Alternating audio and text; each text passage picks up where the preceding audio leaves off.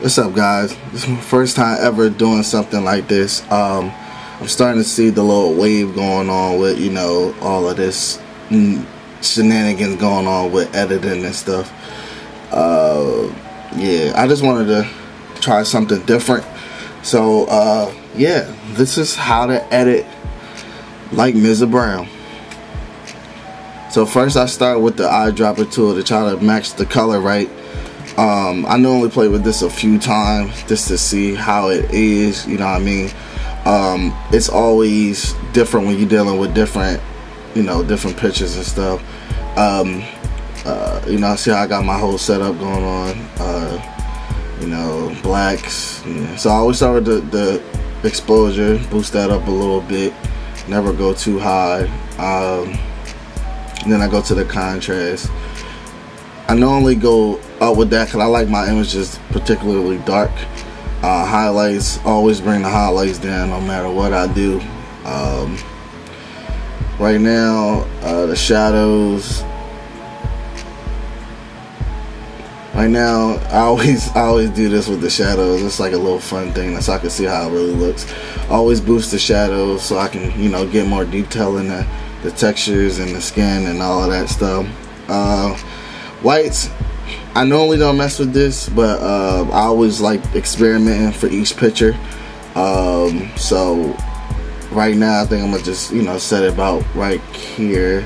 Um, blacks, and I always, always, always kill my blacks. Like I always love it. Um, always, like I, I just love darker images. Um, when it comes to um, you know clarity and stuff, I do that typically last. Next thing I do, I do the lens correction. Always change the profile to the camera I'm shooting with, the lens. I don't know why I do this. I like to have my own vignette, you know, because it gives off a vignette. And then I go to uh, camera calibration. I normally focus on the greens and the reds. Uh, it, like it depends on the, the particular picture. Um, in this case, uh, I really don't gotta do much because the picture is primarily like orange and reddish, like in those those those warmer tones and all of that. So uh, I don't really do much. But you know, see see I I'm here adjusting most of the stuff. So yeah. Uh, next, I go to color. I always start with the yellow to try to you know get some get some warmth into her skin. In this case. Um, I'm noticing her face like it's a little little pale. Uh, so like right now I'm just trying to figure out you know how to get that a little bit darker and have it all be even. Um, so as you see I'm fooling with the uh, what's this the oranges uh, reds and the yellows. Uh, just see you know just trying to get it to to fit the best way I can. Um, yeah with this though, um, in this particular picture, it's like I said, it's really warm. So like it's it's easier to edit this stuff. Um, I, I typically was going for that look when I was actually doing the shoot with the girl. Uh, so um, it, it, this this one was a pretty simple edit. So I just wanted to you know show that off a little bit. Then I go back to basic boost the clarity. I always like going high with the clarity. Always. I don't know what it is about it. I just love how it looks. Uh, drop down the vibrance um, to make it a little palish, and then bring up the saturation to, to get those uh, low ends and stuff like that. So yeah. um, so at this point, I'm realizing that her face is like really pale, and I can't fix it. So what I would do is get the adjustment brush tool, and literally, I know her face look dark right now, but I would literally just boost it you know what I mean? Try to get her face to match her skin. So as you see, I boost the exposure a little bit and then I change the temperature of it and now it's starting to look more like her skin. So, yeah. Um, uh, those are my presets on the left side. I wonder what I was doing at this point. So now I'm changing the overall temperature of the picture. I'm like, alright, look a little blue. Let's make it a little bit more orange, a little more summery. I know we're in a hotel room, so it's not too much, but I just love the, the, the feeling I got from it. Next is the detail. I always put it around 50, 60. You know what I mean? Um, I don't really do much. I just like giving it a little bit of sharpness and the luminance. I always like having that soft skin.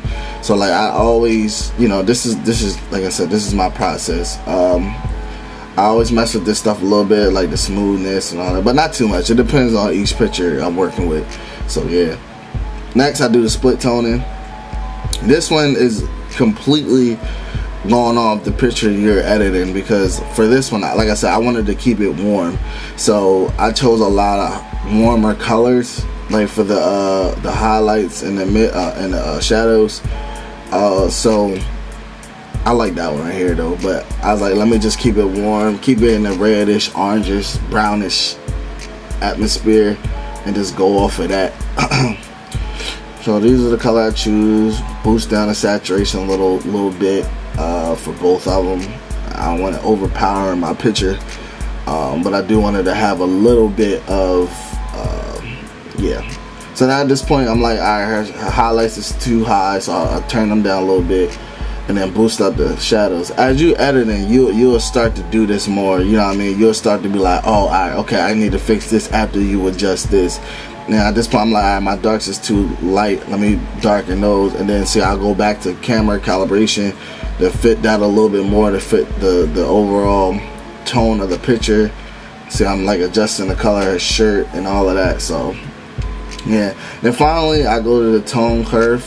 Um, I normally you make an S you know with these little points and I full with the highlight the top. I always over exaggerate just to see what it looks like um, but for the most part I'm just I'm just literally boosting the, the low end like that's just how I edit um, I love this like this little faded look it does.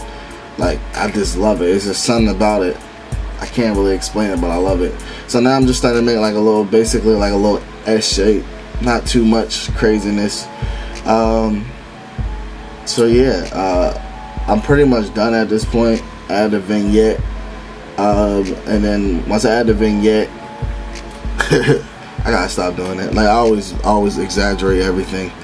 Um, but yeah, add the vignette. Um, I normally add grain to it, but I, I feel as though this one don't really need it. Now, I always touch, touch the HL, HSL to change the overall look of how um, how I wanted to look. You know what I mean? Um, like the colors. Let me see if I can experiment with the, the you know the oranges, the, the yellows, the um, blues, aqua. Like I just want to see like what I would what I can do. You know what I mean? To make it to give it my my special touch.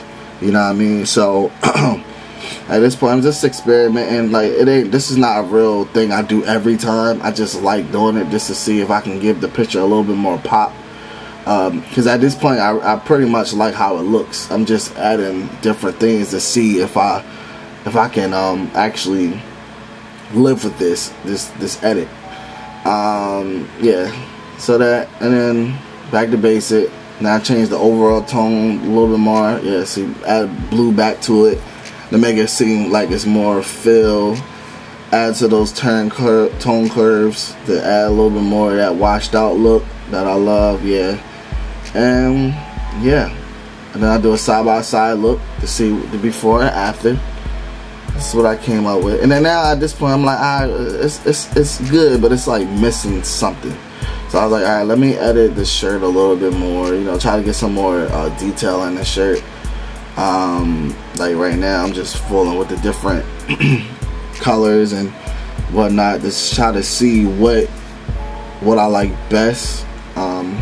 But like I said, overall, the edit is already done. Uh, it already has the MSA Brown effect to it uh, yeah. So I'm just doing a little bit of little minor tweaks here and there. And uh, also, um, as I'm looking at this right now, uh, yeah, so as I'm looking at this, you know, side by side, I start seeing like a little, little bit things here and there that I could probably fix in Photoshop. Like, uh, you know, like this little part right here, and probably boost her smile up a little bit more. But I don't know. But for overall, it's done. Uh, yeah. Thanks. Thanks for watching. It's my first video. And here's the after. Double fist, and I'm gone.